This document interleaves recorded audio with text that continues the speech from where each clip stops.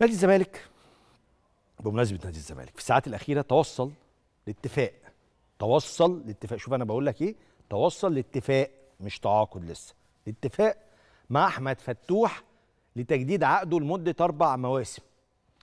فتوح بلغ كابتن أحمد سليمان عضو مجلس الإدارة بالقرار واللاعب هياخد مستحقاته المالية المتأخرة بالنادي.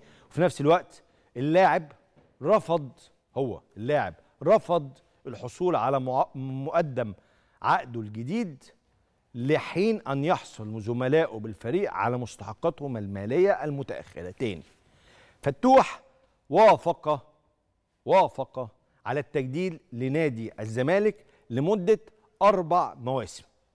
واتفق مع نادي الزمالك إن هياخد مستحقاته المتأخرة ويأجل موضوع مقدم التعاقد ده لحين إن زملائه في الفريق ياخدوا هم كمان مستحقاتهم المتأخرة. وبلغ الكلام ده للكابتن أحمد سليمان عضو مجلس إدارة نادي الزمالك المختص أو اللي معاه ملف كرة القدم. طيب